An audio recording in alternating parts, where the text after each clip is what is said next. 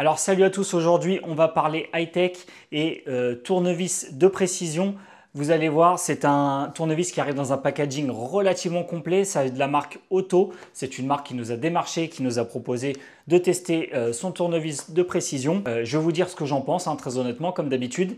Et euh, on va faire une petite aparté aussi sur un autre gadget qu'on a. Pour commencer, on va faire le tour de l'extérieur. Donc ça arrive hein, livré dans une boîte classique comme ça qui paye pas de mine. Sauf que comme vous pouvez le voir, à l'intérieur, on retrouve une boîte de rangement vraiment très classe. On va faire le tour ensuite.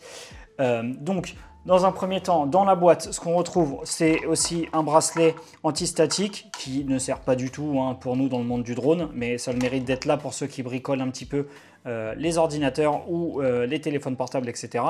Et on a un câble USB pour charger, USB-C. Euh, également, à l'intérieur de la boîte, donc vous retrouvez un manuel dont je vous épargne la lecture et on va faire déjà un tour de l'extérieur. Donc, on a une petite boîte qui fait environ 21,5 cm de long. Elle fait 12 cm de haut et environ 2,5 cm d'épaisseur. Euh, dans l'ensemble, c'est plutôt lourd, je dirais. En tout cas, euh, ça pèse son poids. On va voir direct combien ça pèse avec le tournevis à l'intérieur et tous les accessoires. On est à 650 grammes. Donc c'est pas rien, mais ça le mérite d'être compact, bien rangé, il n'y a rien qui traîne. J'aime beaucoup euh, en tout cas euh, l'aspect général de cette case. Je la trouve vraiment propre. Euh, il n'y a, rien qui, a rien qui laisse penser que c'est de la mauvaise qualité, en tout cas à première vue. On a un port USB-C ici qui va nous permettre de charger directement le tournevis lorsqu'il est mis à l'intérieur de son support. le tournevis qui a une batterie de 350 mAh et euh, qui euh, se recharge assez rapidement. Je dirais à peu près en 1h30, 2 heures, euh, le tournevis devrait être rechargé. Le temps d'utilisation, bah, je ne peux pas vous le dire, ça va dépendre de, votre, de votre utilisation à vous. Hein. Si vous passez votre journée à dévisser, je pense que clairement, il peut tenir une journée sans problème. Donc le tournevis, on va faire le tour rapidement pour lui des mensurations. On est sur un tournevis qui fait 16 cm de long, et euh, qui fait environ 17 euh, mm d'épaisseur. Ici, on peut voir les bornes de contact qui permettent de recharger directement lorsqu'on le met dans son emplacement. Donc il est directement dans l'axe de rotation de sa boîte. Je trouve ça plutôt classe, euh, c'est bien pensé. Alors comme vous pouvez le voir, le tournevis est vraiment bien fini, c'est super propre. Les finitions sont très clean. On a un petit bouton avec clic d'enclenchement pour les vitesses. On a euh, une pression sur un bouton en silicone vraiment agréable euh, pour visser et dévisser avec une petite LED à l'avant. Tout est vraiment très très bien usiné. Vitesse 1, on est en 0,2 à 0,4 Nm de couple et une vitesse réduite. Et en vitesse numéro 2, on a la vitesse la plus rapide et on a accès à 0,8 Nm de couple environ.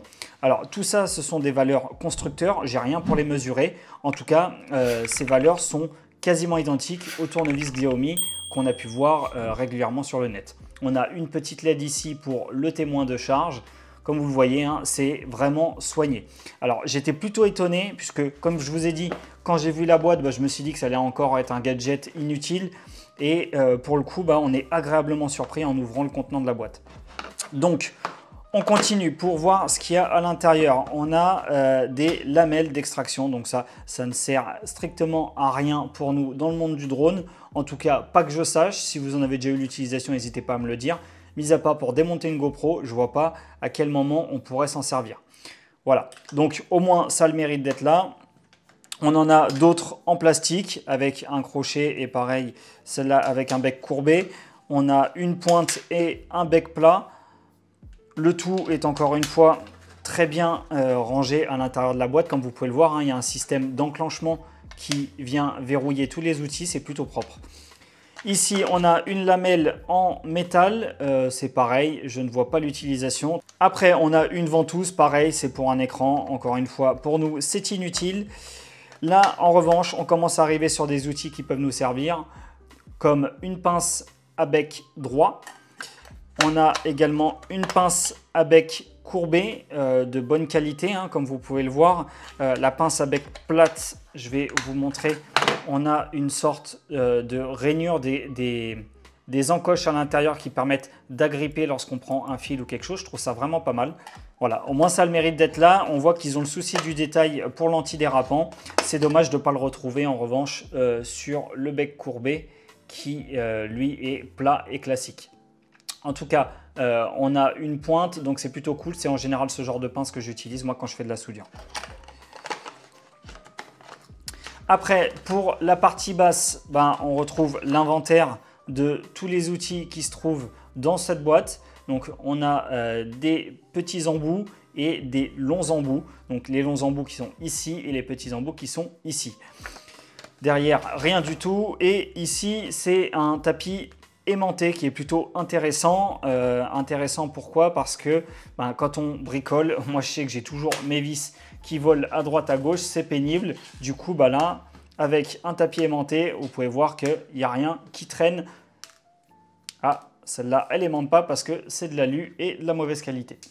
Mais bon, toutes vos vis euh, en euh, titane ou en acier vont aimanter. Il n'y a pas de souci là-dessus.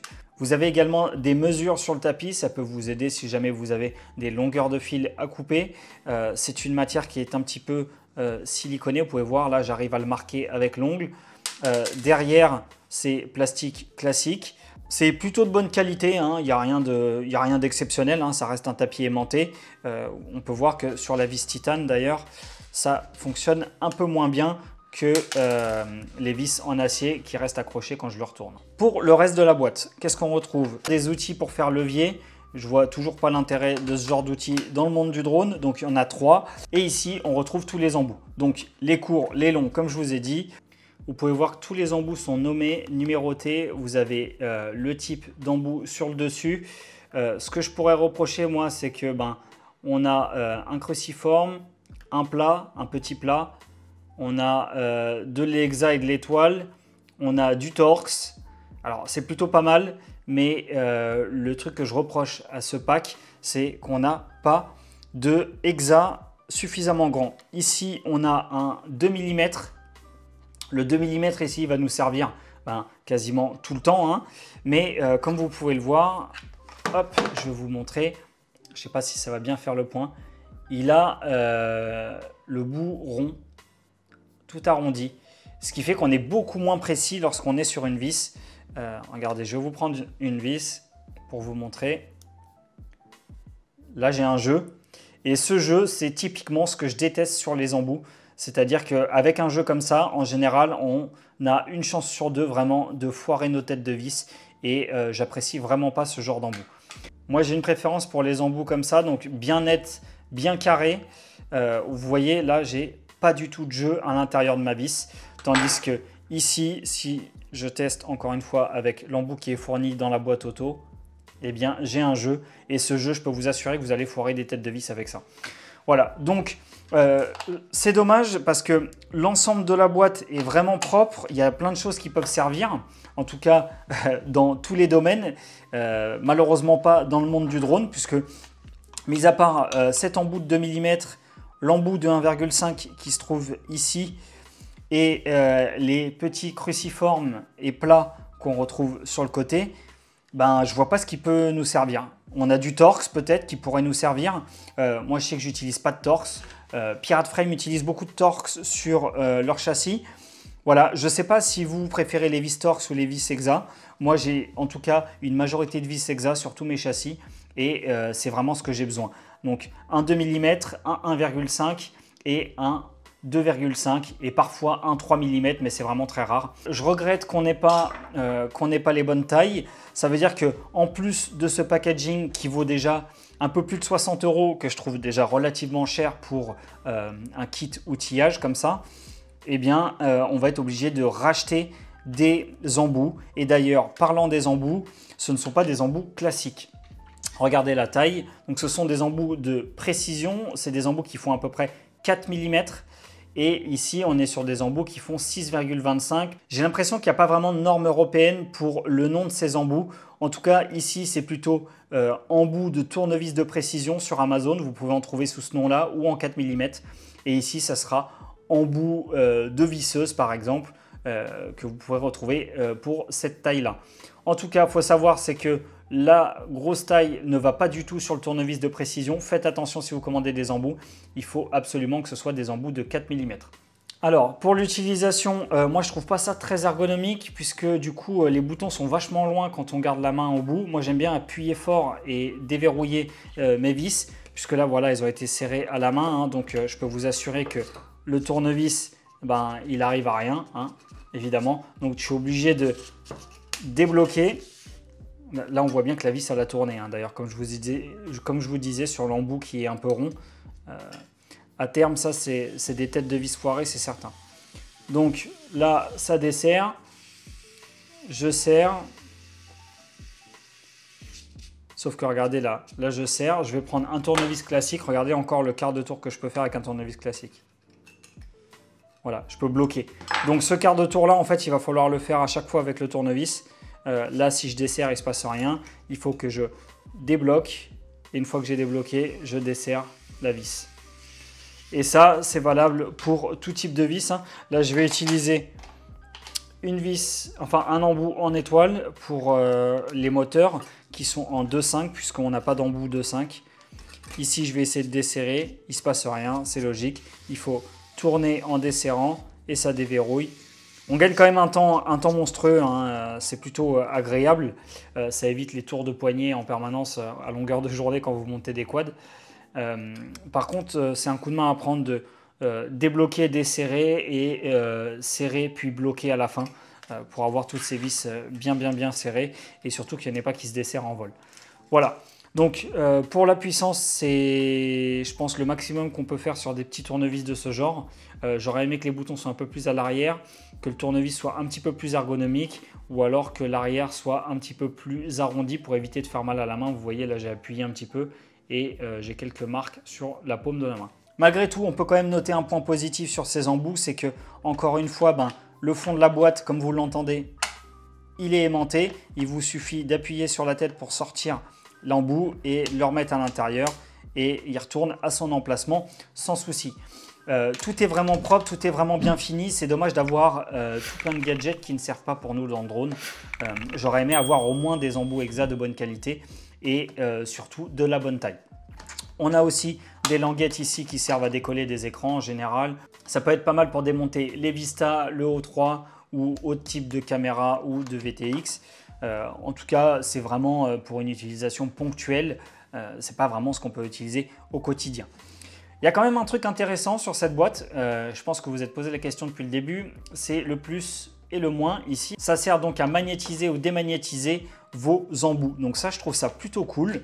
Et on va faire le test tout de suite. Regardez, donc là, je vais démagnétiser mon embout.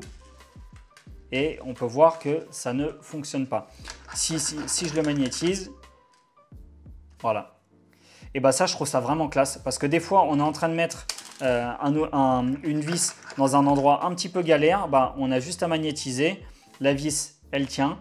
Et quand on ne veut plus, bah, on démagnétise et il n'y a plus de problème. Donc c'est un petit gadget qui paye pas de mine, mais de pouvoir magnétiser et démagnétiser à souhait, euh, je trouve ça vraiment classe. Voilà. Je sais pas ce que vous pensez de cette petite boîte. N'hésitez pas à interagir là tout au long de la vidéo euh, dans les commentaires. Il y a pas mal de choses qui ne vont pas pour nous dans le hobby. Mais euh, si vous êtes bricoleur, euh, bricoleur chevronné, euh, vous pouvez avoir certainement besoin de ce genre de boîte.